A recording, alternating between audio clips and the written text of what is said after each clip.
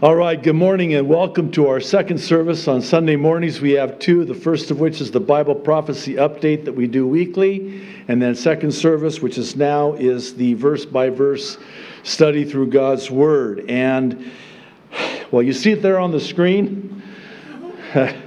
you know, uh, this is the book now that comes after the book of Hebrews. You know why, right? Because we finished the book of Hebrews last week. Oh, you weren't here? Well, we finished the book of Hebrews last week, so we're going to start in the book of James. I have been so looking forward to this book. I know I say that about every book in the Bible, but particularly this book, as I think you're going to see here shortly. So, James chapter 1, beginning in verse 1, and the first four verses is going to be our text today. And I'll ask those of you that are here, if you're able, you can stand, follow along with me as I read. If not, where you're seated is fine.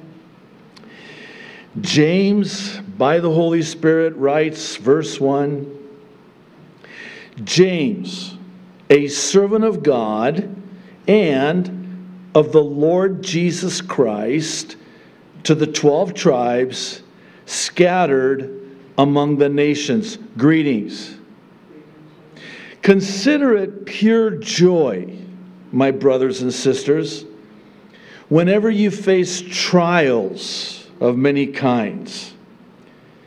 Because, verse 3, you know that the testing of your faith produces perseverance. Let, verse 4, let perseverance finish its work so that you may be mature and complete, not lacking anything. All right, let's pray. If you would please join with me. oh, Lord, thank you so much for your word. And Lord, thank you for James, for inspiring James by the Holy Spirit to write this letter that we have before us today in our Bibles. Lord, we know that there is so much here just within these first four verses that you want to minister to us and show to us and reveal to us. That's why we're here, Lord. We want you to speak into our lives in and through your word. As you always do, you're always so faithful to, and as only you can especially when it comes to this matter of trials. I don't think there's a one of us here today or even watching online that isn't struggling, hurting, weary with all the trials, especially with everything that's happening in the world today. Lord, thank you so much for this because this is life for us. This is a lifeline for us. So, Lord, thank you in advance for what you're going to do in our time together in your word today, we pray. In Jesus' name, amen amen. You can be seated. Thank you. So, I want to talk with you today about the good that trials produce in our lives and why it is that we should actually welcome them. I'm not feeling the love on that one, but not only welcome them, but even consider them pure joy. Not just joy, pure joy. However, before we do that, we need to first know a few things about this amazing man, James. This man, James, who God inspires to write this letter. And the reason is, is because it's going to be germane to our understanding of this particular epistle, which is full, I mean full, of powerful and practical wisdom and instruction. So, if you'll kindly indulge me, what follows are several things that we need to know about James, and they all speak to the life of this man who knew the Lord intimately and personally, quite literally. he was the younger half brother of Jesus born to Joseph and Mary. Oh, stop right there, Pastor. I was told and taught growing up that Jesus did not have any other brothers and sisters. Well, you're wrong, and they were wrong to teach you that because Joseph and Mary had more children after the virgin birth of Jesus Christ our Lord. And James was the half brother biologically born to Joseph and Mary. And we know this because of the Gospel of Matthew, actually elsewhere as well, as we'll see. Matthew 13, beginning in verse 53. When Jesus had finished these parables, he moved on from there. Coming to his hometown, he began teaching the people in their synagogue, and they were amazed. Where did this man get this wisdom? and these miraculous powers, they asked. Isn't this the carpenter's son? I knew him when he was in diapers. That's not in the text. I just, I mean, that's what they're saying. Is, isn't his mother's name Mary?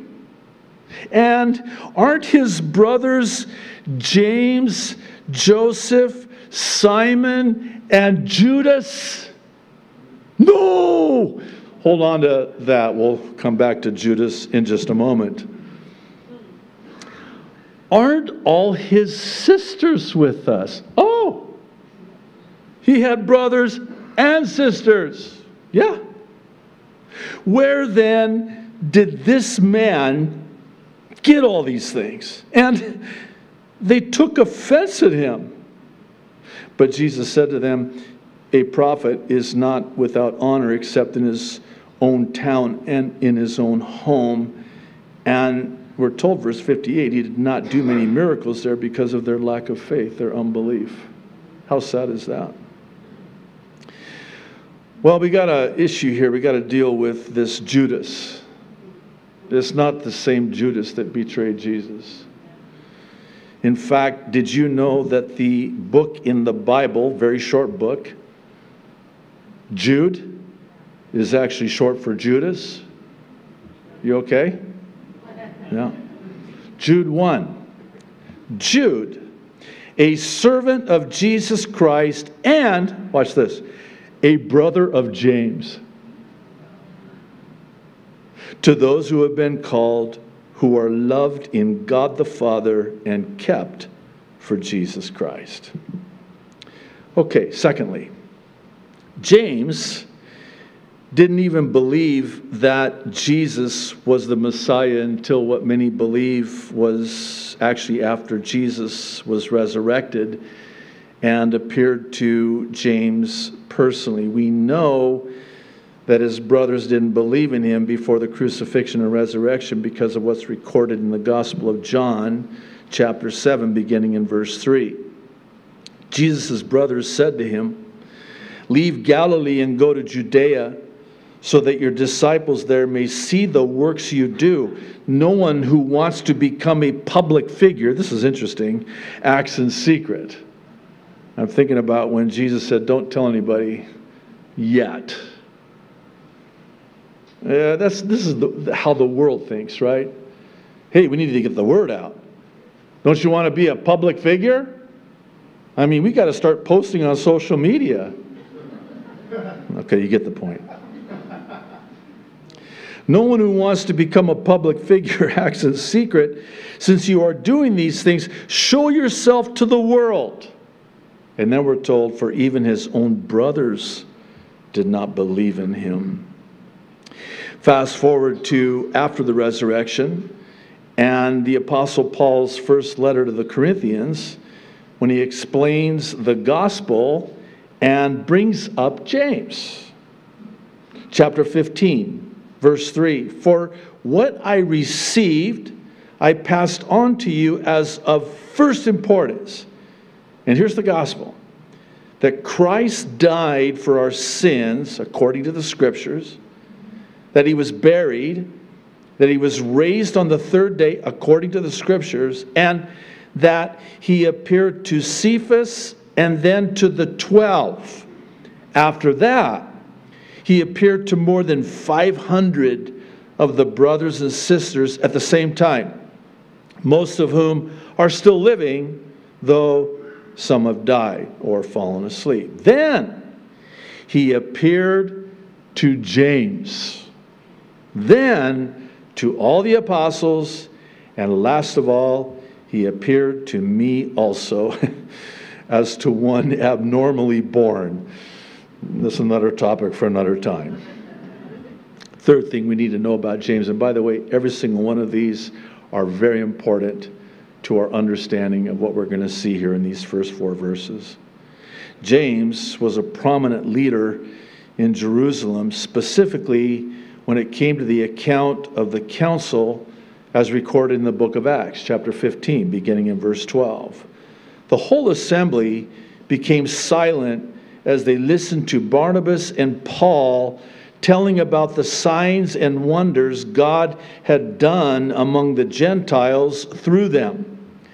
When they finished, James spoke up. Shh, it's James. Brothers, he said, listen to me. Simon has described to us how God first intervened to choose a people for his name from the Gentiles. It's almost as if James had the final word, even over and above Paul and Barnabas, of all people. Lastly, and this is important, James was a man of prayer. And James knew the Word of God, and it's evidenced by some 45 references to the Old Testament in his short letter, and it is a short letter. Also, according to church historians, he was such a man of prayer that his knees had large, thick calluses like knees of a camel. Uh, I wonder where he saw that and learned that and witnessed that. What do you think? He watched his brother, God incarnate, throughout his life on his knees. You know, it's interesting. Church historians also record that he was martyred by being pushed off a high point in the temple there in Jerusalem, which didn't kill him. So they proceeded to bludgeon him to death.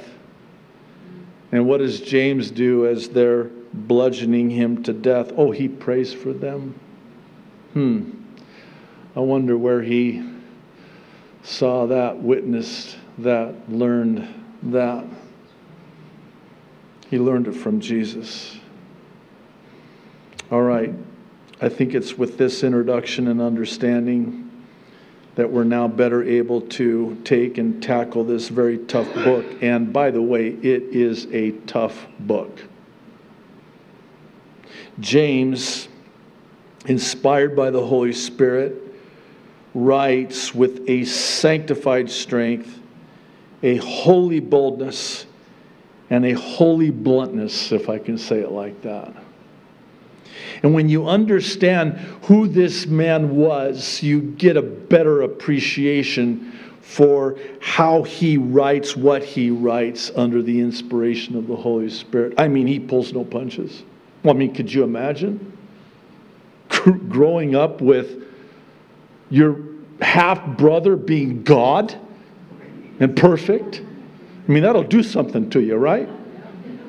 I mean, can you imagine? always, Jesus always kept his room perfectly clean.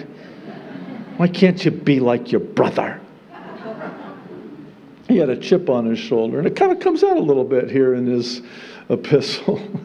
I mean, it's in a sanctified way, of course. Well, in just these first four verses, true to form, James has a very strong, very firm exhortation concerning trials. And I would venture to say that James knew a thing or two about trials in his life. And inspired by the Holy Spirit, he, I mean, verse 1 introduces himself, who he is. Verse 2 gets right down to business. And that's what we're going to see. The good that comes from those trials. The first one, in verse 1, trials make me humble and teachable. I don't know if it's possible to overstate the importance of what James writes here just in this first verse concerning his title James, the bondservant, the bondslave of Jesus Christ. I wouldn't have written that. You know what I would have written? JD,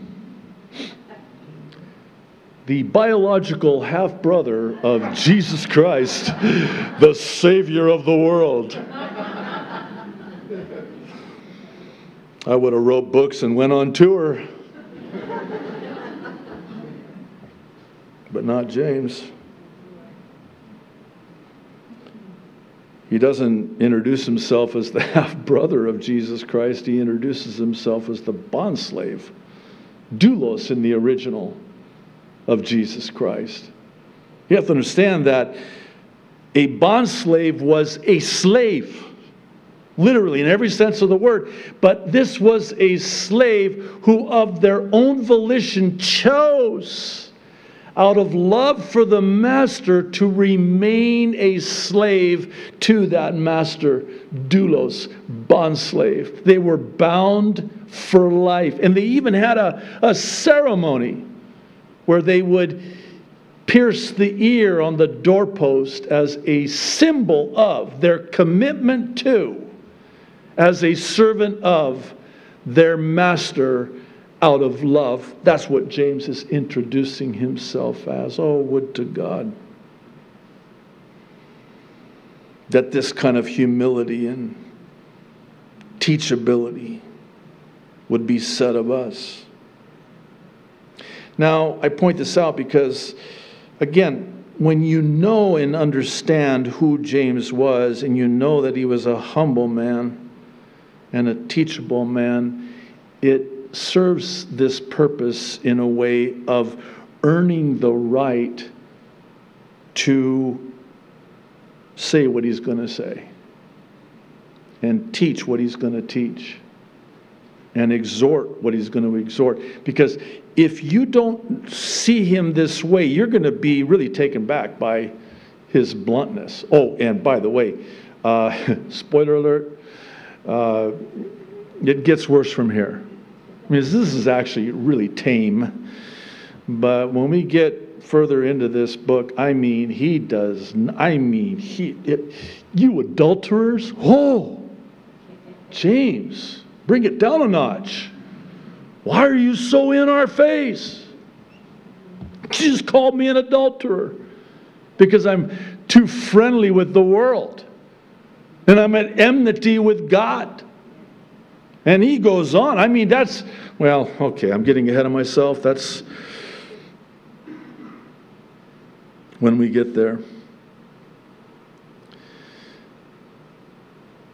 That's what trials do, though, right? They break us, and it's a good breaking. They humble us, and they make us teachable. The second one is in verses 2 and 3, and it's that trials make us faithful and joyful. I want to spend a little bit of time on this. But here, again, James, true to form, as we get to know him. You're going to love this about him, but I mean, he wastes no time. See, I would have I would have drug out the introduction just a little bit longer. I mean, at least a couple three verses, you know, James, you know, half brother of the savior of the world and bond servant, that's fine and you know, I'm uh, one of the leaders in Jerusalem, and here's my resume. And then I would have gotten into the, the meat of it, but not James. He gets right into it. And he says to them, as he says to us now by the Holy Spirit, that we can actually consider those different kinds of trials in our lives pure joy. How? Because I I'm not joyful in trials, I'm miserable in trials. How is it possible, James, that I can consider this trial pure joy? Oh, I'm glad you asked. You can consider it pure joy by knowing where God's going by allowing the trial in your life. Okay? Keyword know. Know. You, can consider it pure joy because you know. I know? Yeah, you know. Uh, okay, I, I know what? You know what God is doing, what God is accomplishing in and through that trial. Well, no wonder He's not getting me out of the trial as I've been praying. He's not going to get you out of the trial. And truth be made known, you don't want Him to get you out of that trial. Because you're going to have to retake the test if He does.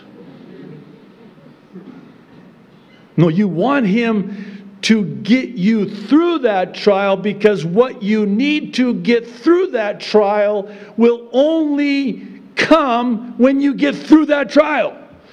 I hope you got that because I'm going to try again to say that. What do you need to get through that trial? Perseverance. How are you going to get the perseverance? By going through the trial. Wait a minute. You're telling me, actually, I'm not telling you, God's word is telling you. Um, I need to get through this trial. I need perseverance. I need, I need patience. And I mean, forget joy. I haven't even got the joy yet. I just got to get through this thing. Well, how are you going to get through it? By getting through it. I need to get through it. Well, you need perseverance to get through it, and the only way you're going to get perseverance is by going through it. Okay, can you help me out here? How, how, how, does this work? Because the testing of our faith produces it. The trial produces the very thing you need to get through the trial. I wish that were not the case. Oh, believe you me, if I could stand up before you today, as is my privilege to every week, and say to you, hey, seven keys, seven secrets to perseverance. Oh, how much? Well, I'll sign it for you for 99.95 or whatever. No. Um, it comes vis a vis the trial that you're in. And knowing that the perseverance you need to persevere in that trial comes in the trial, then maybe you should just say, okay, Lord, let's get this show on the road. It, and it's not, it's not, I mean, I sure hope so. No. It's, you know. You know. This is a truth that you know. You know the good that is going to come from the trial you're in. And that's why you can consider it pure joy. Now, joy is an interesting word. I think it gets a lot of bad press, actually, if I can say it like that, because we somehow have uh, made synonymous joy with happiness, and they are not the same. In fact, happiness comes from the word happenstance. Uh, circumstance, meaning that, you know, when things are going good, I'm happy. But when things are not going good, not happy. Now, if you live your Christian life based on how things are going in your life, and you're only happy when the circumstances are such that you can be happy, well, I'll just speak for myself. I'll be happy maybe a minute and 30 seconds a day, if that, on a good day. If you're telling me that my happiness is predicated upon the circumstances in my life, I'm not a very happy man. Let's talk about joy now, conversely. Joy is not predicated upon what's happening in your life. In fact, you can have this joy regardless of what's going on in your life. As difficult as it may be, you can still know this joy, pure joy. And this is not pie in the sky.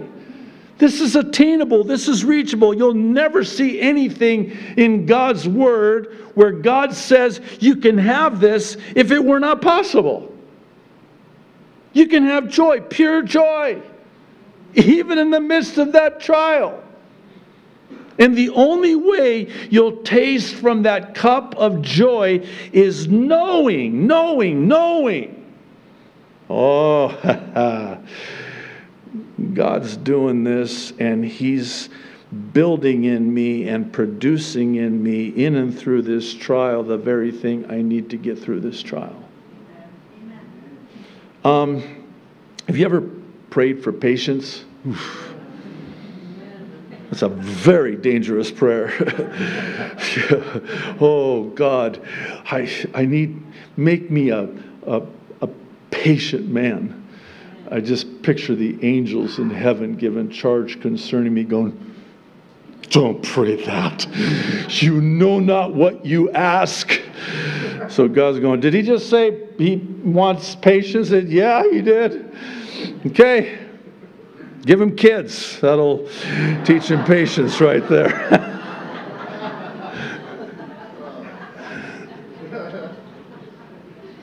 Get him stuck in traffic. That'll That'll do it.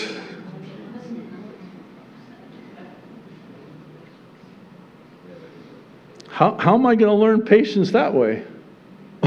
because it produces in you the patience and perseverance by going through it.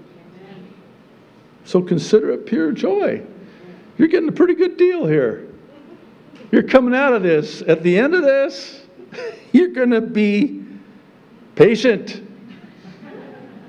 Yay. Had I known that.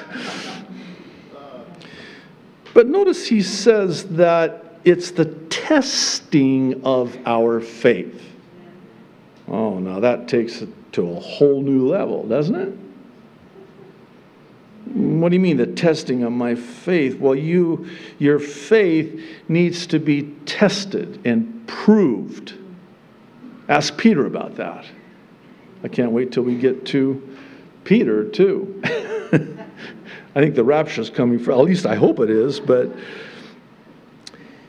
he talks about our faith being like gold that's purified, tested in the fire, those fiery trials. You know what the goldsmith does with that gold, like our faith? He takes that gold and he subjects it to intense heat. I mean, intense heat. What happens to that gold? Well, all of the impurities that are in that gold rise to the surface, and then the goldsmith takes and scrapes them off, and he knows he has pure gold when he can see his image reflected in that gold. Does that sound a little familiar? You know, we love Romans 8:28, nothing wrong with that. But we conveniently forget about Romans 8:29. Because 829 explains 828 that we know, there's that word know again, that God works all things together for the good to them that love God and are called according to his purpose. Oh, I like that. I think I'll put that on my wallpaper.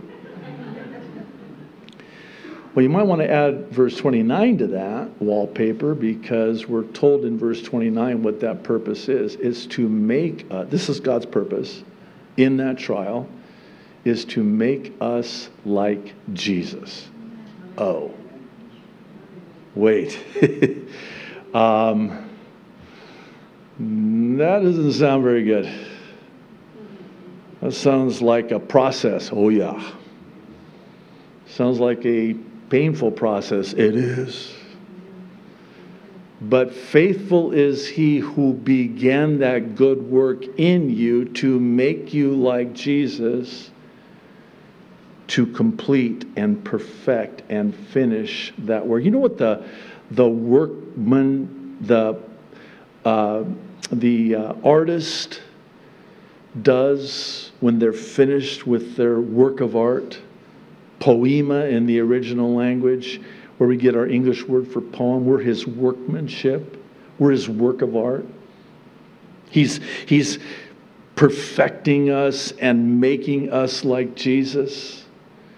And when he's done, finished, he puts his name, you know, like an artist will put their name on their workmanship.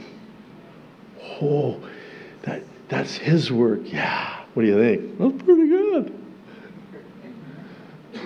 The finished product. Well, that's what God's purpose is. That's what God has called us to. So he has to test and prove our faith. He has to take our faith and put it into the furnace, those fiery trials, so that he can purify us.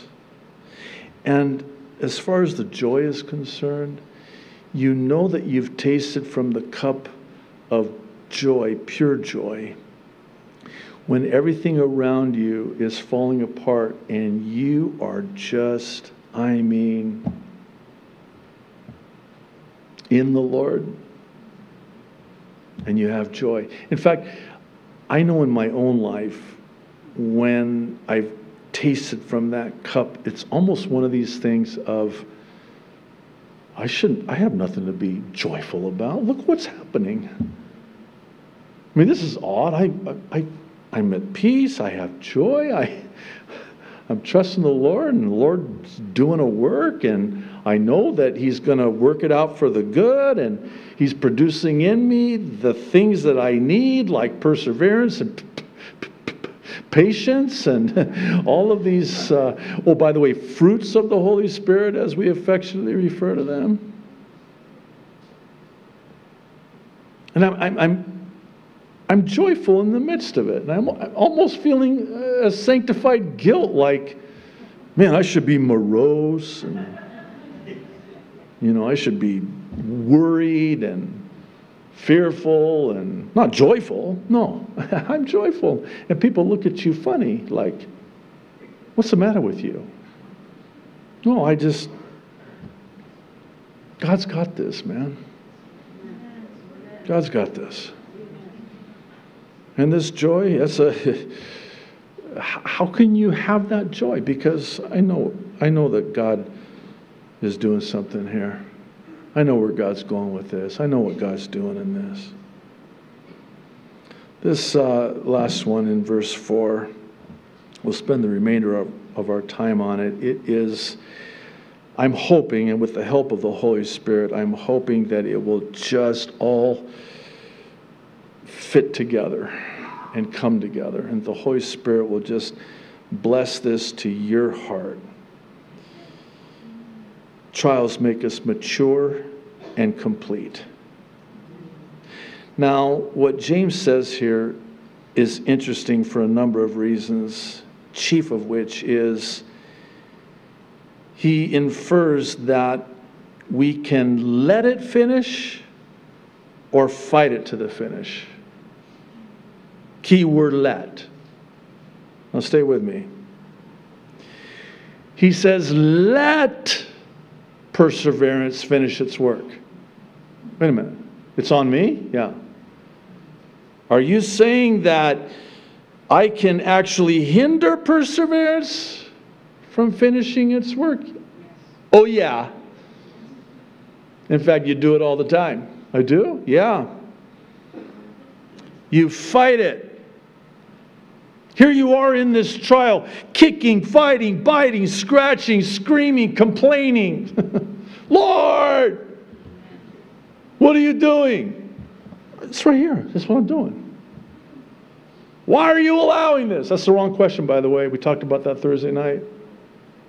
It's not, God, why are you allowing this trial in my life? The question should be this Lord, what, what, not why, what are you doing in me by allowing this trial in my life? Apparently, I'm lacking something, and the only way for you to produce in me that which I lack is by allowing the trial. In fact, James says that if you'll let perseverance finish its work, you'll be mature and complete, and there won't be anything you lack for the next trial. Oh, why'd you have to say that? Because, think about it. You're either coming out of a trial or going into a trial. Have a nice afternoon. Am I right? But here's the thing I am not going to lack that which I need in that trial because God has produced in me that which I need. So I don't lack it. What do I lack? Well, perseverance, patience, strength. How about joy? I lack joy. I'll admit it. I'll be the first to admit it. when I remember as a young Christian, I when I read James 1 for the first time, I thought, surely this has to be a mistranslation from the original language. really? Consider it pure joy. I, I, I, think in the original it's more along the lines of consider it pure hell when you encounter trials of various kinds, because that's my experience. Well, if that's your experience, that's because you're immature, incomplete, and you lack. And God does not want you to lack what you need, so He's going to provide you what you need. And the only way He can provide you and mature you is by allowing you to go through that trial. Let me ask you a question. Think this through with me. Think about those trials in your life that God, as only He can, got you through. And I mean, you were thinking, there's no way. This is how it ends. I'm not, I'm not getting out of this one. And then God says, oh, really? It seems like you lack some faith here.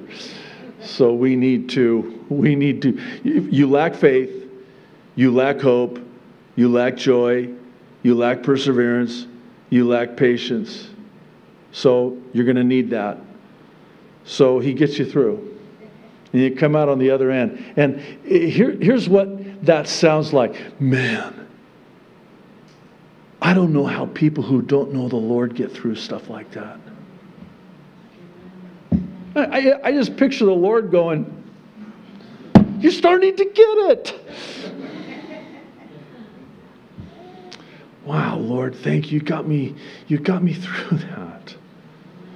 And then here I am now, and I'm I'm like, hey, I got through that. The Lord got me through that. All right.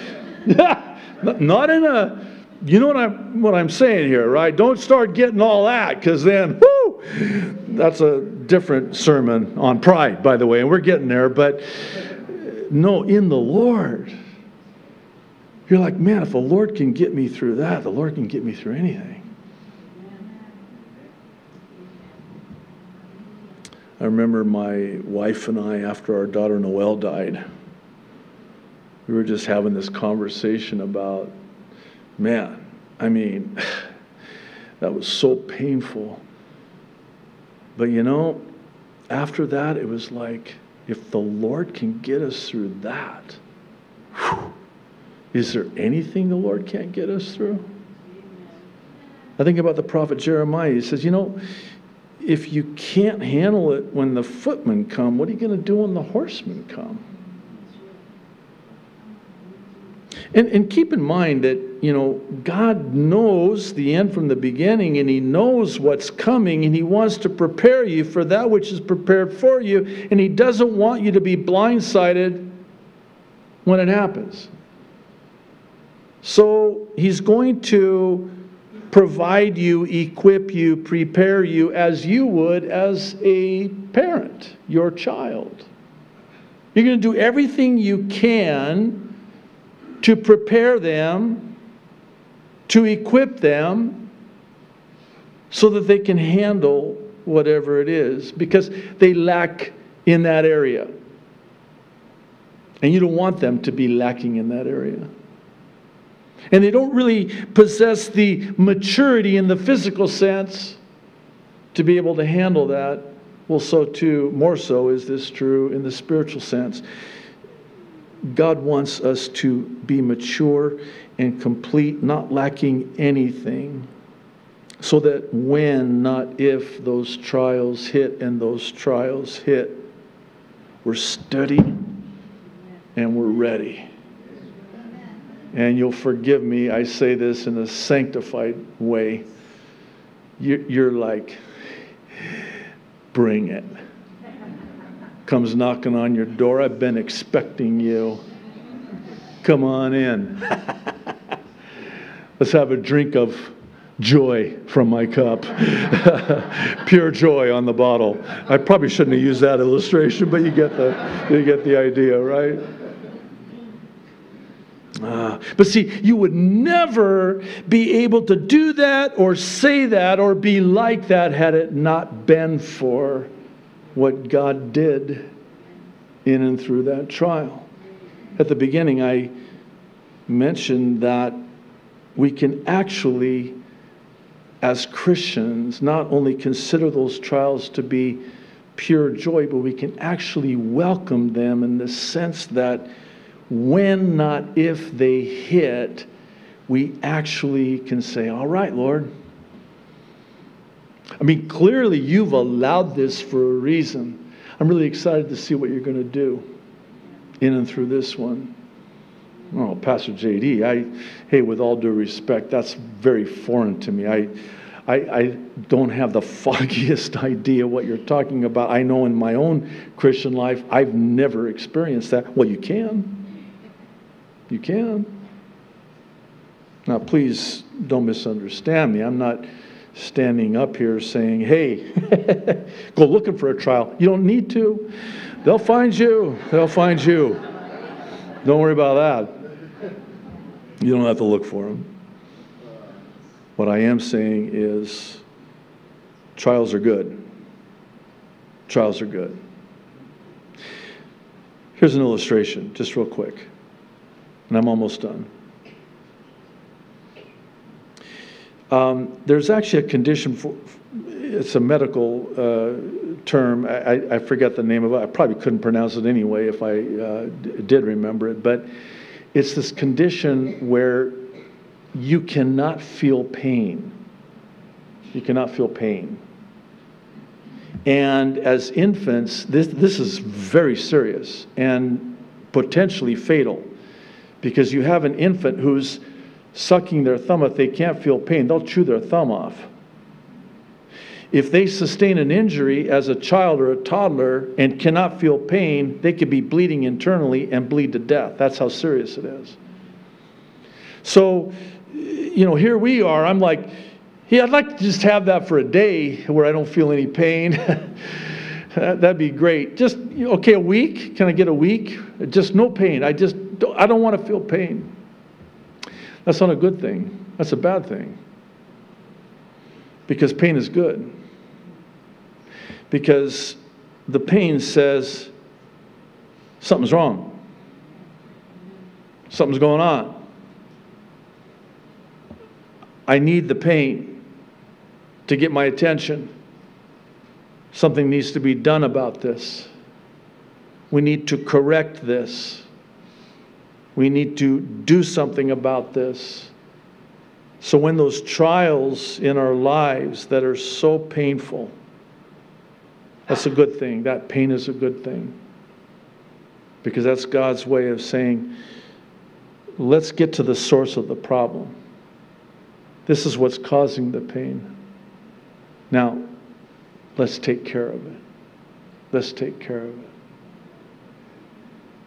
And so you would think that we would welcome it, and certainly when it comes, let the Lord do what He's going to do. Let Him. Just let Him finish it, man. Get it over with. Why do you want to unnecessarily prolong the trial? How, how do I prolong the trial? By not letting perseverance finish its work? Let, let, let. Let it finish so that you will be complete and lacking nothing and mature okay, this is, this is the last thing. Actually, Capono, come up that way. It has to be. And once you stand up, that way it really needs to be the last thing. You know,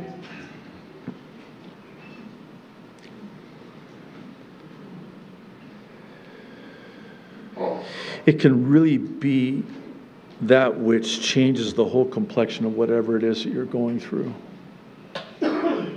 when you don't see it so much as just this pain and this suffering and Lord, how long and Lord, please. And when you really understand that God is doing a work in you in and through that trial, and then you just say, okay, Lord, so be it. And then you just quit fighting the Lord. In fact, instead of praying, Lord, get me out of this. Pray this instead Lord, get me through this. And don't just get me through this, do what you're going to do in me in those areas that I lack as you get me through this because clearly you're allowing me to go through this because of what you want to do in and through this trial that you've allowed in my life. And it will change the whole complexion of how you view that trial you're in. If you are fighting the Lord instead of letting the Lord do what He's doing, you, how do I say this? I'll just say it. You're playing right into the hands of the enemy. You couldn't make him happier. He's loving every minute of it. It is unnecessary and needless. Instead, you, hey, how about this?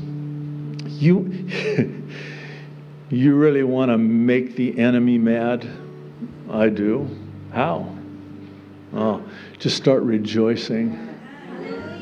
Start considering it pure joy. He's like, well, that's no fun. I'm out of here. I'm going to go find somebody else. Yeah, go. Aloha.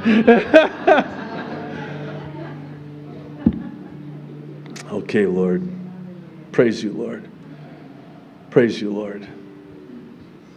Like Job would say, Lord, even if you slay me, yet will I praise you.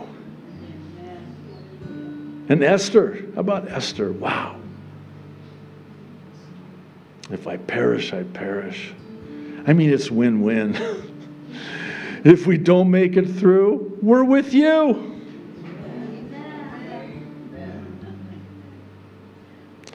And if we do make it through, we're stronger and more mature in you. So, Lord, forgive us for fighting you. We're going to resolve this day by the power of the Holy Spirit to let you do what you're doing. And, and Lord, please just finish the, the job. Let's get this done. And I'll get out of your way, Lord. And thank you, Lord. Thank you for the trial. Because I need this. I need what you have for me in this. Thank you, Lord. In Jesus' name, amen.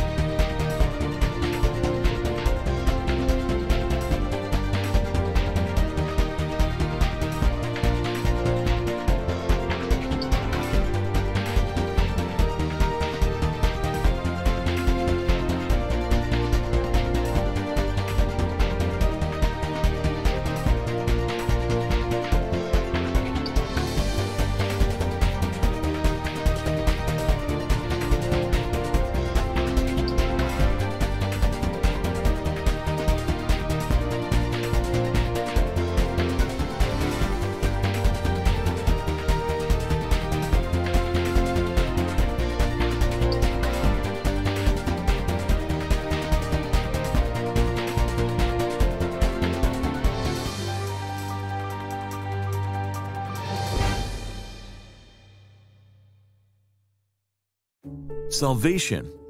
The most important decision of your life is as simple as ABC.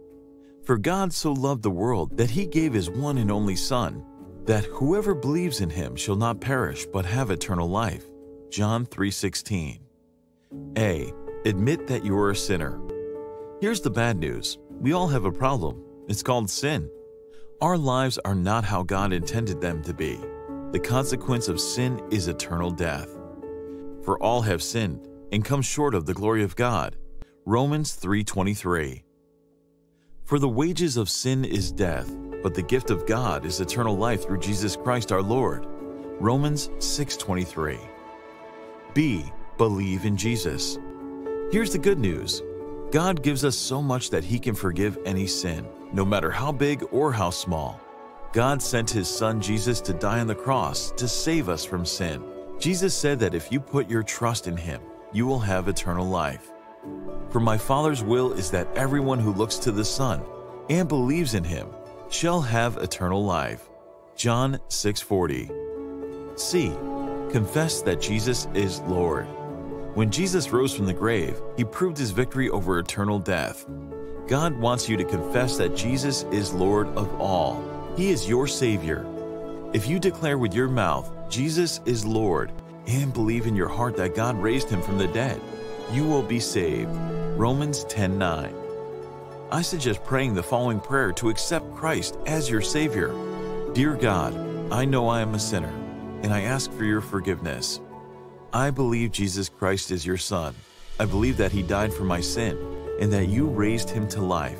I want to trust Him as my Savior and follow Him as Lord. From this day forward, guide my life and help me do your will. I pray this in the name of Jesus. Amen. Welcome to the forever family of God.